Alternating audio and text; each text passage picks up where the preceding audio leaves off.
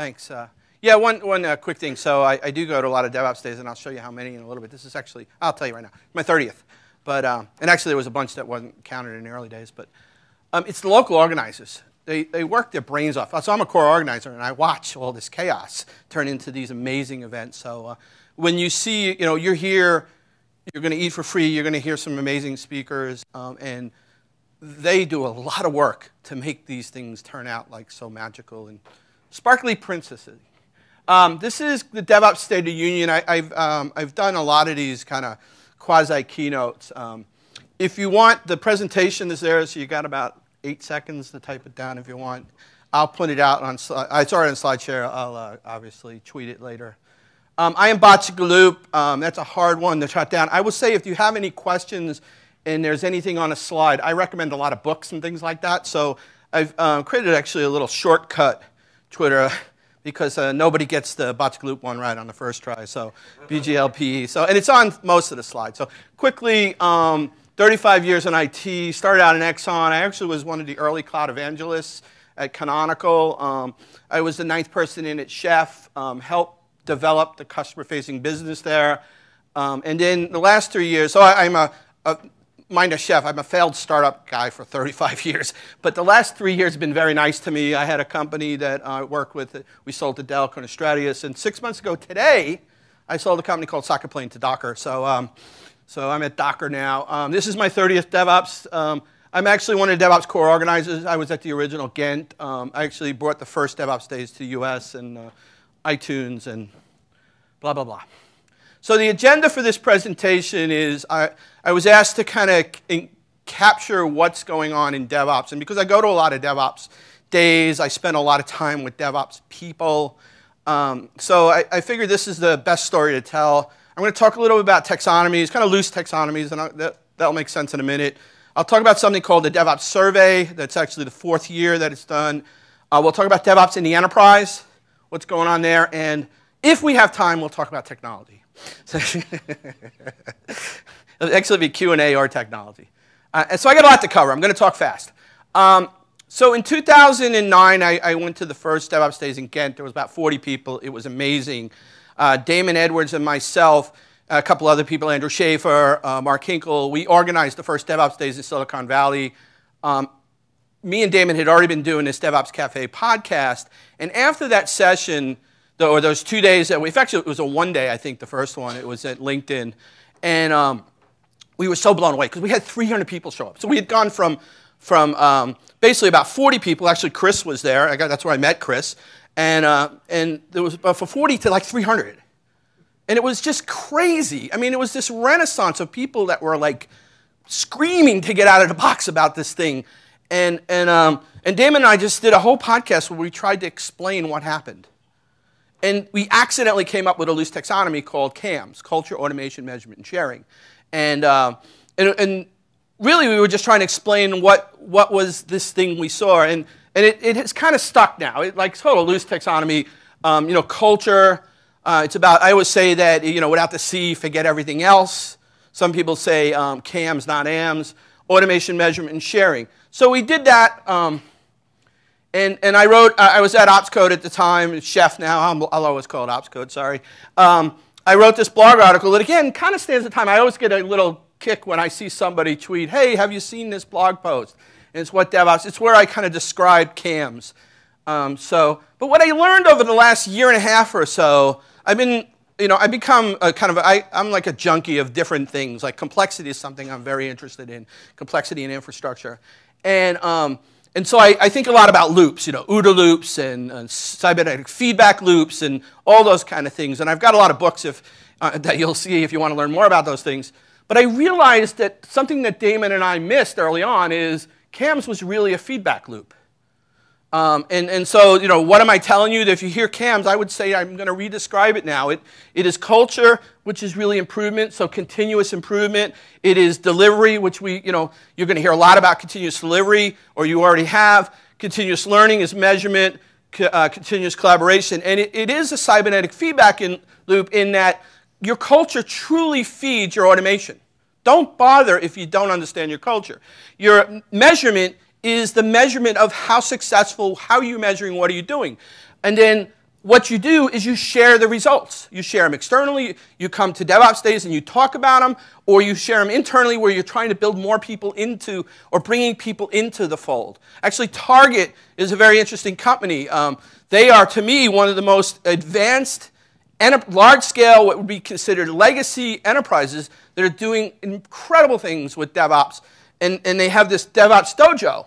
And they literally think, in fact, their quote is, we have a culture and um, sharing sandwich here. Um, actually, you know, taking the CAM's idea. Um, but as acronyms go, or um, taxonomies, a good friend of mine, Dave Zwieback, recently, actually beginning of the year, did this blog article. Um, and what I did when I said this presentation, I sent out to a whole bunch of people, said, hey, tell me your top three things and I have a slide for all those people at the end. Tell me your top three things that you think is important in DevOps. And, and Dave reminded me of this presentation he did, which this ICE. And I think it's brilliant because I like this um, taxonomy, um, loose taxonomy again, um, inclusivity, complexity, and empathy. And, and he explains that in his blog. But I'm going to walk you through, um, you know, in other words, we're getting better at our craft. You know, me and Damon were a bunch of just, you know, drunk, not really, but, you know, on a podcast, hey, what happened last week, you know? And, and but, you know, let's come out with this thing called CAMs, you know? And now you got guys like Dave Zwieback and lots of other people that are actually pinpointing a lot finer of what we're doing here. And we're learning. We're in a feedback loop ourselves, right? Um, and so, inclusion, do not make fun of that graph. I'm learning R. And that's my first attempt at a cool graph in R. So screw you if you make fun of it. Uh, it took me a lot of work to get the two sides and normalize the data. So I'm pretty proud of myself. Um, but anyway, the data. Um, so if you look at, I, I took the, um, the amount of DevOps days we have per year, and I took the, uh, the DevOps survey, which I'll talk about a little bit. And so we started off at one in Ghent. We had uh, about three or four uh, in 2010. And then in 2012, 2013, we took off.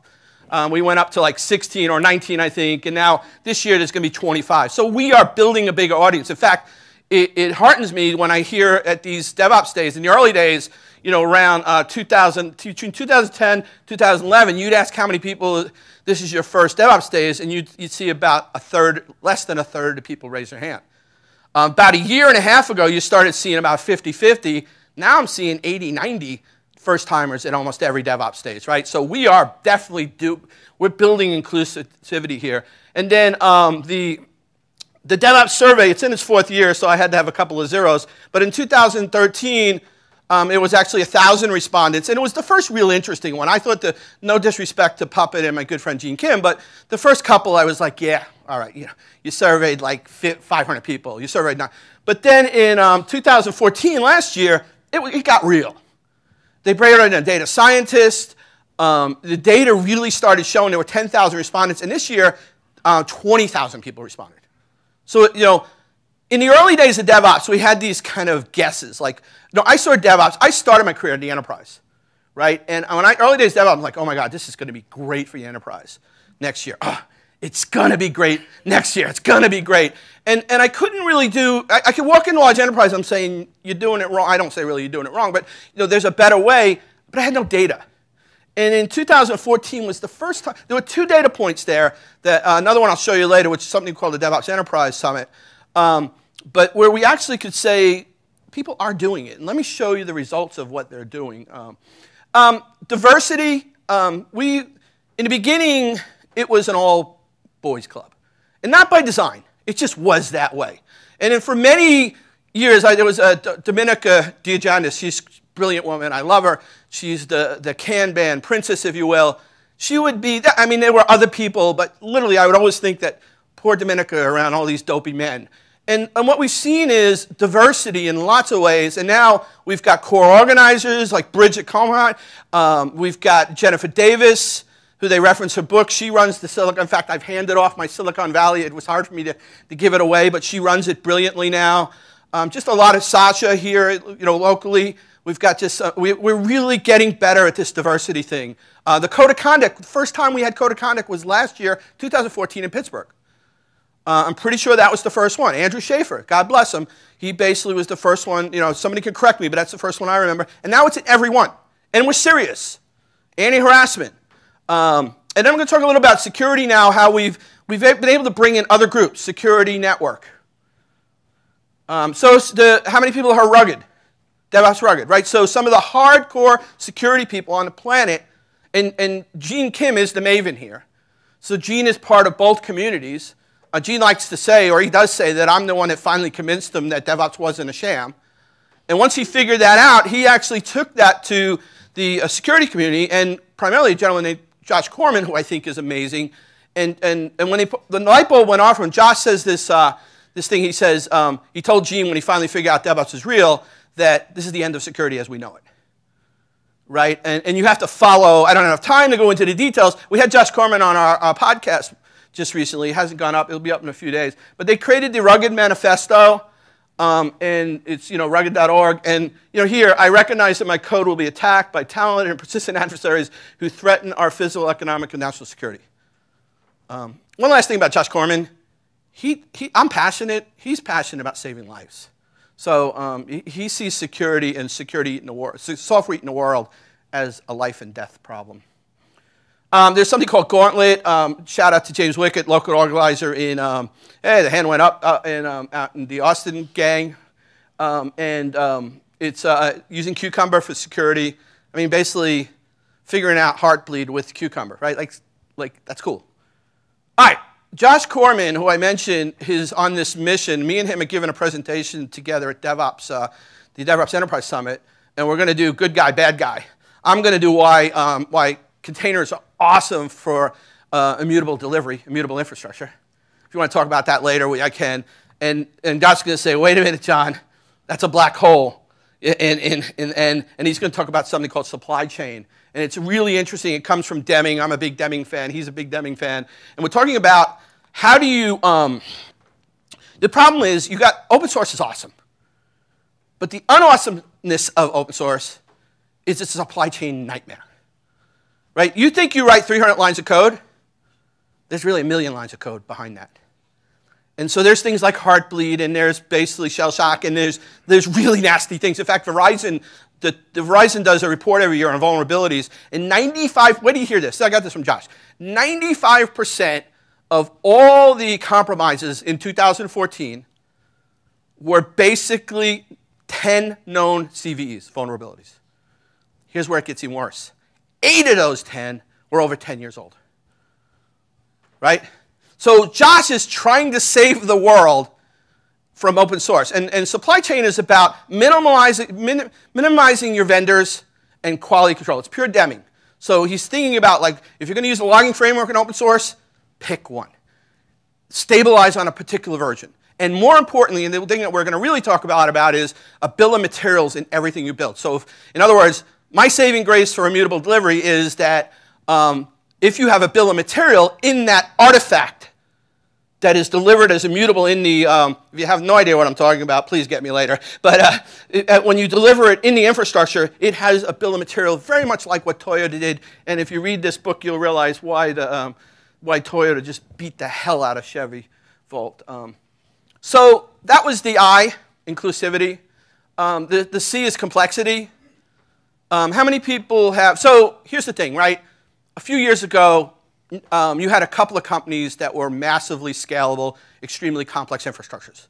You have Google, you have Facebook, there's a short list. Today, there's hundreds. I will argue by the end of this decade, there'll be thousands right? So, um, so we need to look for who's dealing with complexity in the right way. How many people have heard of Chaos Monkey? So yeah, just about everybody. Good, good. So I don't have to explain it. I saved like a minute. Um, the, um, but you don't get to Chaos Monkey. I had Adrian Cockcroft on a DevOps podcast. You don't get to basically killing live production servers unless you have a resilient infrastructure and I've talked a lot to Adrian about this, like how do you get the Chaos Monkey from zero? How do you go zero, zero to um, Chaos Monkey? Adrian likes to say, so Adrian Cockcroft is the person who uh, is most credited for the architecture of Netflix. And Netflix, whether you hate them or love them, they have built probably the most premier architecture for scalable infrastructure as we know it today. I, I will take any arguments for somebody who's doing it better. Um, I'm not saying there isn't, but he, what he did, he said, you know, when, he, when you try to congratulate him, he'll say, John, what I did is I took the right book and gave it to the right person. And so if you've ever read Mike Nygard's Release It, um, Mike Nygard's not here, is he? He's from this area. Oh, I'd love it if he's here. No, darn it. Um, the, um, there's something called circuit breaker patterns in there. And it's a really interesting idea of how to do infrastructure at scale. If, you know, just like we do circuit breakers in our house, we don't like blow up everything and turn it off when this thing gets overloaded. So it's a pattern in which you you develop infrastructure such that when this circuit breaker, this is just the only thing that gets isolated. All the other transactions, and you model how that. That allows you to get to an environment where you can do things like Chaos Monkey. The other book that he recommends to people, and he says that this was another book he passed to somebody, is Sidney Dekker's Drift into Failure. I you know, if anybody, how many people follow John Allspaw? Right? Quite, uh, you know, a fair amount. Like, you should all follow John Allspaw. All right? Find out who he is, start following him. John is a big fan of Sidney Dekker and a lot of people who talk about, um, about human safety, um, human factors. The, Sidney Dekker is not a computer scientist. He's the one that gets called in when a baby dies at a hospital to find out what the human factors were that caused that. He's the one when they're, in fact, his first gig was that airline fatality in South America that had, um, it had Airbus, and it, and it actually, uh, autopilot recorrected the pilot's directions to come back and hit a mountain. That was, that's how he got into writing these books. Um, how many people heard Mark Burgess? Uh, not a whole lot. How many people heard of Chef and Puppet? Right, so there would be no Chef or Puppet without Mark Burgess. He, he designed and developed this, this idea. He's a physicist who turned into a computer scientist who basically had to solve a problem because they asked him to take care of the computer systems at a university he was at. And, um, and he thinks a lot about complexity. That book is a hard book to read. I am telling you. Let, let me say this. If you know what a Planck constant is, you'll have a blast. If you don't know what a Planck constant is, you are going to be Googling the shit out of every other word in that book. But either way, it's a fantastic book. And I told him that should be a college curriculum, that book. It's an amazing book if you want to understand complexity. And then the last book I read is um, this gentleman, Jeff Sussna. This is a really, really good book. Short read. You don't need to Google everything. He explains it really well. I just finished uh, reading it.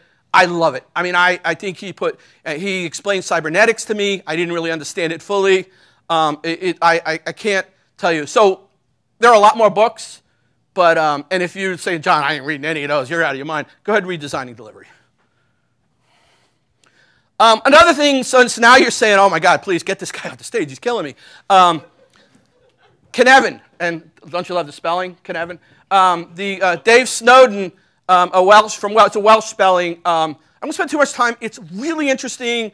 I'm seeing some really smart people implement this. There's great discussions. I'm still trying to find a place for it. I, I get it. It's, it's a framework for dealing with complexity. The short version is there are four quadrants. There are things like known knowns, things that you can look at, uh, categorize, and react. Uh, other things that are basically kind of known unknowns. Um, you sense, then you analyze, you can't really categorize. They're not really categorizable. In fact, maybe they turn into obvious after repeated. You move into complex, which is um, where these are um, emergent things, emergent patterns. Again, we're all talking about complexity here. Environments where they start getting up to servers that are unmanageable by people. Um, and then finally, chaotic, which is your kind of black swan, your, um, you know, uh, uh, metaphorically, your 10 sigmas, those kind of things. Um, it, it's a very interesting pattern and framework for complexity. And then finally, the E, in ICE um, is uh, empathy. Michael talked about this a little bit. He talked about the, uh, uh, inclusion and empathy. Um, so it's funny, you know, going back to me and Damon trying to figure out what DevOps was. And in fact, all the, the original people who were involved in the discussion early on, we knew culture was a big part of it, but, um, but the, um, like dev and ops, right? That's an empathy story. But it took Jeff Sussna, the author that I described, he wrote a blog article at the beginning, I think, of 2014. Yeah. And, and he said that the essence of DevOps is, is empathy. And it was a brilliant article. In fact, Tim O'Reilly retweeted. I'm like, man, I could just write a blog article that Tim O'Reilly retweets. You know, that just, that's the thing. Uh, that, when you can do that, you've made it, right? Um, the, um, but it was a great article. It was like, really, to be honest with you, I was a little jealous. Like, you know, why didn't I think of that, right? But, um, but but it was brilliant. And, and again, back to Zwieback, Dave Zwieback turning this into an acronym because this is important. It's how we think about, you know, again, uh, Michael's discussion this morning about how we think about what we're doing here today? You know, are we listening and learning, right? Um, you know, um, you know, early on, we, you know, we talked about like how do we preach to, how do we build prescriptive models for DevOps? So me, Gene, Damon, Jez, a bunch of people talked a lot. Um, I learned a lot actually from, from you, Chris. Um, some of the things in an upcoming book are finally going to come out that, that like, I directly learned from you. Uh, the, uh, Chris has been my mentor for many years, to be honest with you. Um, he's one of the unsung heroes in this, in this space that doesn't get as much credit as some other people do. Um, but um, embedded engineers, he is one of the guys who invented this. Um, the idea of putting somebody from, you know, just whatever, but the, the model most commonly known was you took an ops person and you just put them in the dev team. They become part of the stand-up routine. That was a forced form of empathy. I mean, one of the early stories Chris told me is like somebody would raise their hand and say, they'd say, well, let's put the file directories like this. And the one guy would go, yeah, you know, you can do that, but it's going to piss those guys off.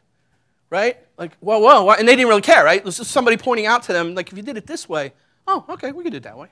Um, blameless postmortems, another hour-long subject. Dave Zwieback does a, um, a three-day course on it. Um, it's very important. Um, okay. But I had 35, but we're good. Um, safety culture. This is important too. Safety culture. There's a lot. We're talking about this. It goes back to Sidney Dekker, what John Allspaw is talking about. Um, Dr. Woods is. A, if you look at some of the velocity presentations of the last couple of years, we've they've injected some really interesting. Again, not IT people talking about other industries that have successfully built a mindset of this safety culture. I got some slides on it in a little bit, but uh, it, the end is that um, empathy is not, this is not really a feedback loop, but empathy is a core part of inclusion and complexity, right? In fact, that, you know, in terms of collusion, it's about listening and learning, right? It's about um, complexity, it's about cybernetic or feedback loops and learning, right? Let's get this kind of learning thing. Um, the Westrum model is pretty interesting. I'm getting tight on time. This is in the DevOps survey. It's kind of rephrased. Um, this uh, Ron Westrum, I learned this actually from Jez Humble, actually. Um, it's, it's the three types of organizations, pathological, bureaucratic, and generative. Um, you can see, I, I, think like, you know, the messenger is shot in a pathological, messengers are tolerated, messengers are trained. In fact, I think failure is another interesting, failure is covered up. A bureaucratic is, organization is just and merciful. In fact, Sidney Dekker talks a lot about just culture. Like we as human beings are like so stuck in this just culture mindset that everything has to be weighed. And it's so hard for us to get into kind of blameless postmortems and thinking about justice has no part of this. It's about learning and understanding. So when things go wrong, our human nature is to go blame somebody. Even though we say things, DevOps, we don't blame anybody. We're all, like, the truth of the matter is we still kind of navigate to there. And, and we need to like just punch and punch our brains to think about what, and this is why I think Dekker is so important. Um, hey, um, the Phoenix Project, how many people have heard of the Phoenix Project? Excellent, great.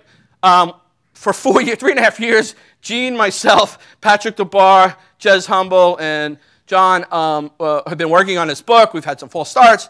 October, it's finally coming out, right? So it has always been designed as the prescriptive guide for this book. People always ask, well, I read the book, Gene, it's awesome. How do I do it? And it's, it's empathy because that's a novel, right? That is also a novel, right? So we, um, in there, we were seeing the perspective of characters in a data center that looks very much like ours. you know, like, hey, I, I, know that guy, I know that person, right? Everybody who reads the book is like, they tell Gene, like, did you sneak into my company? You know, um, interesting enough, it's actually a rewrite of somebody called Elliot Goldratt, who years ago everybody would say the same thing to Elliot Goldratt. Um, burnout, I don't have a whole lot of time. Um, I, we, maybe we can have an own session on this. I wrote a blog article at the beginning of this year uh, about a, a, suicide in the LA DevOps community that just hit me off guard. I almost cry now when I even explain it. I don't have time to explain it. Um, it and all I did is write an article about it, and it just can't open a severe sore that we have in our industry. And I got hundreds and hundreds of letters. And it now, the good news is Velocity runs a burnout panel because of that. Um, we might actually do a burnout survey. Um, we're talking about things that might save lives. I think it's pretty cool. All right, on to the doubt survey. Um, the, in 2014, I said that was the most, in my opinion, most significant, first significant one. We proved things we already knew. Job satisfaction is key indicator of organizational performance. IT performance is a competitive advantage. Organizational culture is one of the strongest indicators of IT performance. I love that, right? And here are things that we found in high performers right? High trust, cross-functional, shared. In 2014, we also found some interesting things. The people who deployed 30 times, so we, what, the comparison was, this is something Gene's been doing for years, is uh, high performance versus low performance. Um, and, and so one of the things that the results of the survey, and you have to take it with a grain of salt, but I'll take those grains, um, that, that high performers did 30x more time deployments than low performers. And so the thing that always, and for those of you new to DevOps, the thing that people think about is uh, these counterintuitive moments. Like if I, if I do like 30 deploys a day or 50 deploys a day, aren't these going to break? And, what we, and we knew that wasn't true. And Eric Ries stated this years ago, uh, the lean startup dude. Um, but we found in the 2014 that you were basically, if you, you were people who were 30 times more deploys than low performers were 3x more successful in those changes. And their mean time to repair, which is a key indicator of how good you are at complexity, uh, were 48 times better. But this, well, this is where it goes nuts. In 2015, the, the, the frequency and the deployment lead time didn't change.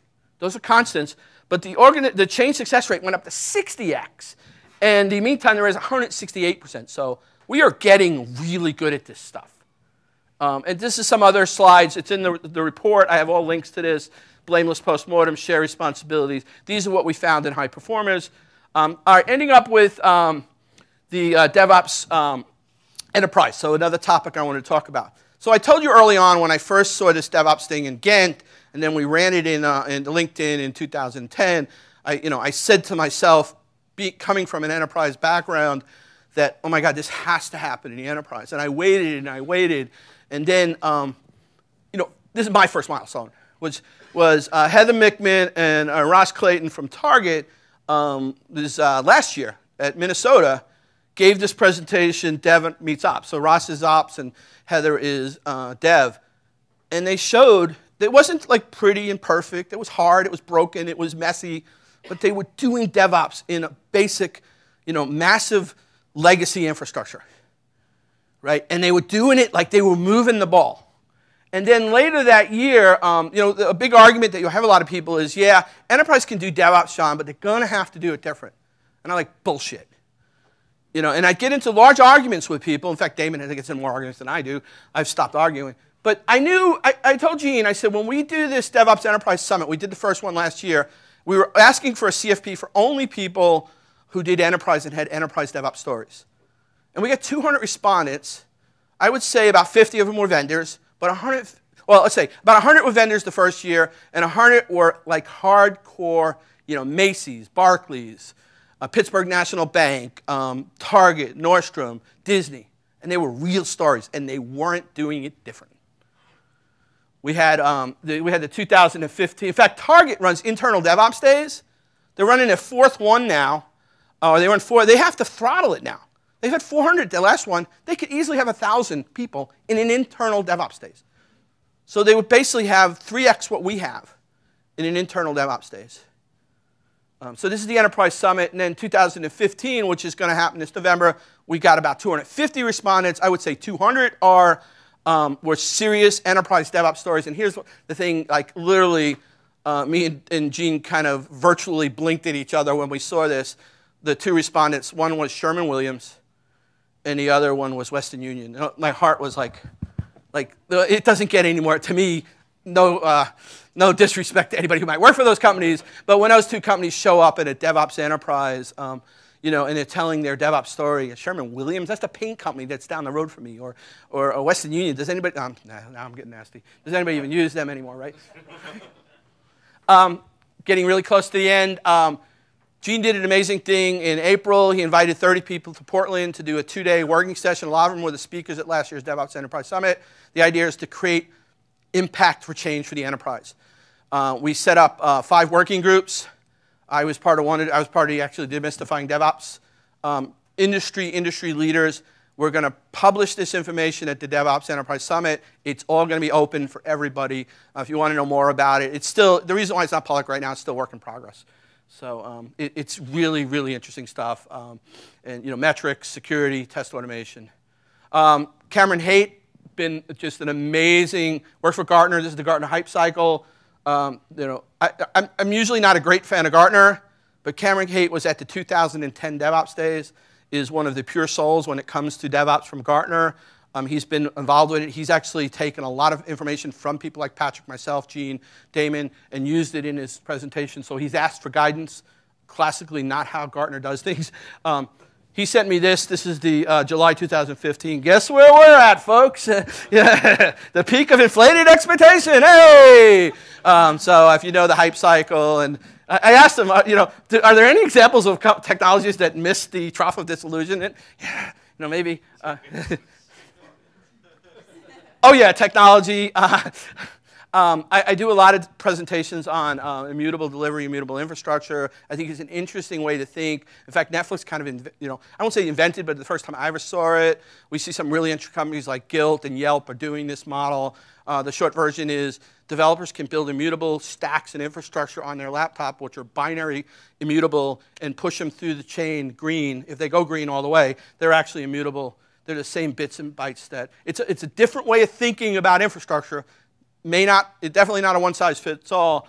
Um, but I will argue that there is this convergence. So I've been doing this guns, some of the keynotes I've done early this year, Guns, Germs, and Steel.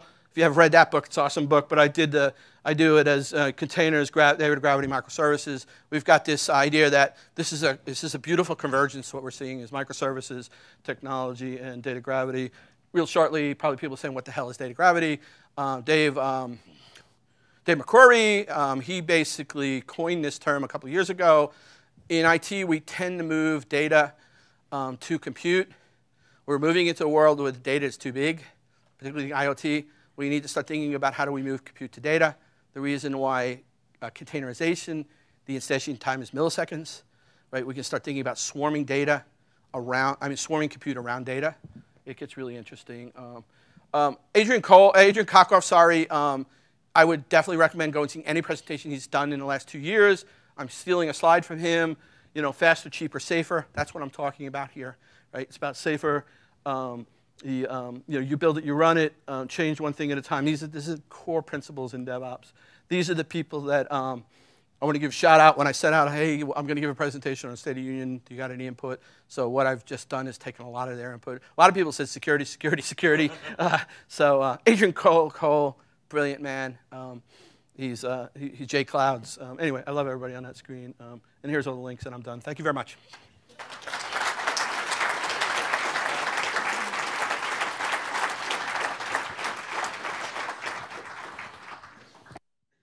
So when you're talking about the state of, of DevOps today, um, what are your kind of thoughts on these approaches towards DevOps certification or a governing board or the right way to do the DevOps? I, you know, I have some good friends that are part of that certification. I think certification is shite. you know, to be honest with you, I, I don't. Uh, you know, net, I didn't get to talk about network and, and what's going on in network or on DevOps, right? Like there are companies now they look for, they look at your Cisco certification and they think I don't want you to come in or do our network stuff because you probably don't know Ruby, you probably don't know DevOps principles, right? So um, certification is a point in times. I, I'm not a big fan of it. Um, the group that's doing this are genuine. They think about Deming and ITMS. So in general, my opinion, it's a waste of people's time. So thank you. That was a great question.